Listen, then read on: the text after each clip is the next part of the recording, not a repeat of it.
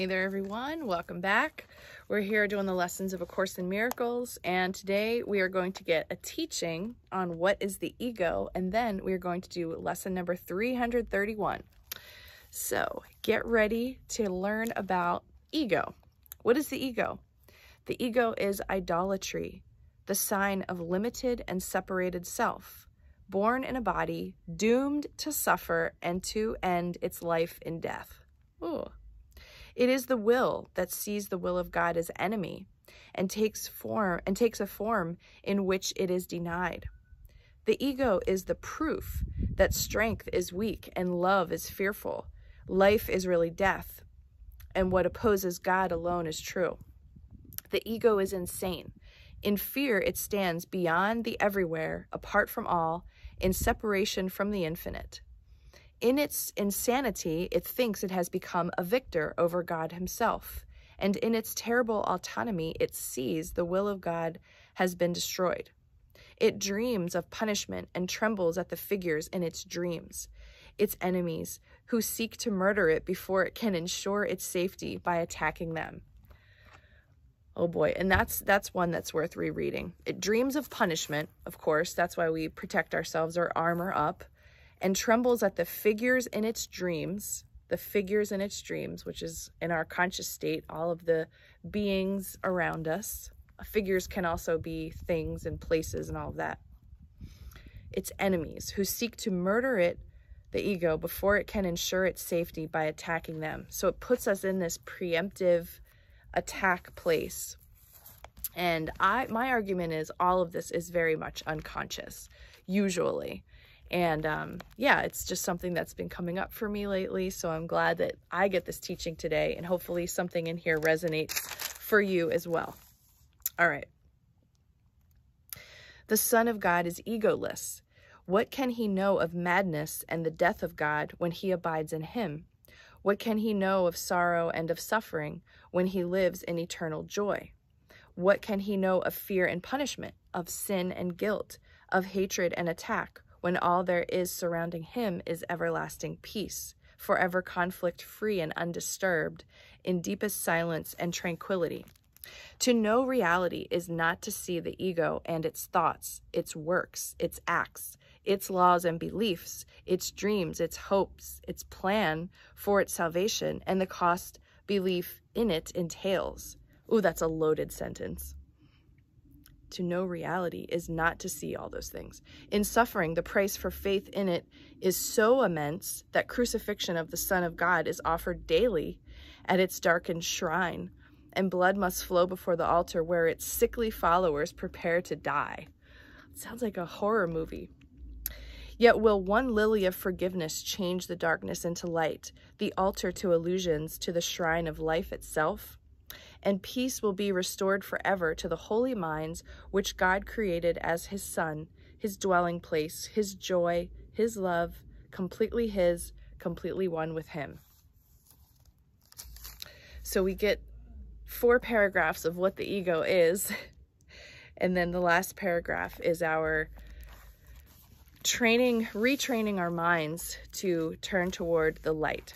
So as they do, the next teaching in line here supports this idea of, of the teaching around what is the ego. Lesson 331 There is no conflict, for my will is yours. How foolish, Father, to believe your Son could cause himself to suffer. Could he make a plan for his damnation and be left without a certain way to his release? You love me, Father. You could never leave me desolate to die within a world of pain and cruelty. How could I think that love has left itself? There is no will except the will of love. Fear is a dream and has no will that can conflict with yours. Conflict is sleep, and peace awakening. Death is illusion, life eternal truth. There is no opposition to your will. There is no conflict, for my will is yours. Forgiveness shows us that God's will is one and that we share it. Let us look upon the holy sights forgiveness shows today, that we may find the peace of God. Amen. Okay, there is our assignment for today. Look upon the holy sights forgiveness shows.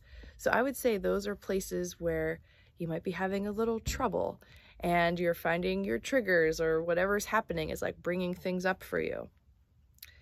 Yeah, let's look upon the holy sites forgiveness shows today that we may find the peace of God. Okay, there is no conflict for my will is yours. Let's keep moving. Let's see what a year of forgiveness has to say about this lesson today. Lesson 331. There is no conflict for my will is yours. You are blessed beings indeed. I am that one you know as Jesus. Conflict is you arguing with God. That is essentially what conflict is. It is your judgments of the world saying, this thing that I'm watching, seeing, or being told about should not be. Still, God has allowed it. It is happening. It's what's there. To accept it is a very, very important part of bringing your mind to peace. The ego does not want to forgive anything. It does not want to step back from judgment because judgment keeps the world of separation alive. Even when you see something you think is evil, cruel, or terrible, you're joining in the judgment of that of that thing keeps it alive. When you see disaster or something negative, to forgive it means you say, I no longer want to see this. I forgive it because I know my judgment is what keeps it alive. Whew, that's a lesson that a lot of us need to hear, of course. There's a fine line between, you know, sharing information and trying to help awaken our brothers and sisters and keeping alive a feeling of, of uh, disempowerment or wrongdoing or, you know, I, I think yeah, I think we all need to watch out for that. And I'm only saying that because this movie Died Suddenly is, is being passed around a lot of my circles and I did watch it. And during parts of the movie, there was there was this part of my mind that was asking, like, why are you watching this? It's really horrifying to see what these, you know, uh, funeral home people are pulling out of bodies and like, why you're putting these images in your mind? Are you creating this? And and I went down that road.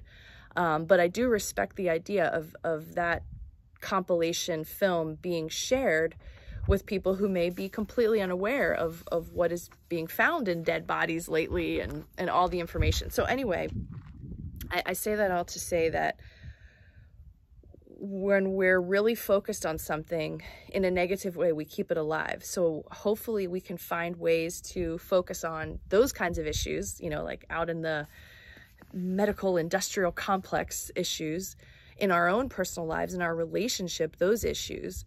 What am I focusing too much on the things that I want to change rather than on the new way that I want to feel about what I want the situation or person or place or thing to, you know, manifest or evolve into? Um, oh, it's tricky stuff. Okay, tangent complete. Here we go. This is something that's very important for you to grasp today that you are not condoning what is unpleasant. Oh, thank you, Jesus, for helping me end this conversation here. In your forgiveness, you ensure its demise because you no longer judge and therefore do not keep the world of separation alive. What is the world of separation but suffering and death? Forgive whatever you see and know that in that forgiveness practice, you rise above the battle, battleground and end separation. I am that one you know as Jesus, and we will speak to you tomorrow. So I guess that's that's our work for today. The course told us to kind of canvas around your life in your mind, of course, in your inner world, what needs to be forgiven. And this is really telling you the same thing. Forgive whatever you see and know that in that forgiveness practice, you rise above the battleground and end separation. All right, lesson 331. It's a wrap.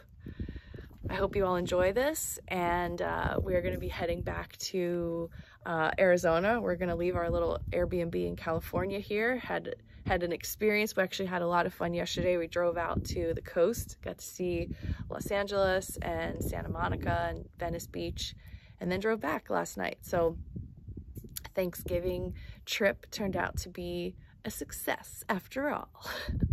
Have a great day, everyone. Lots of love to you out there. Good luck with this lesson, and I'll see you tomorrow.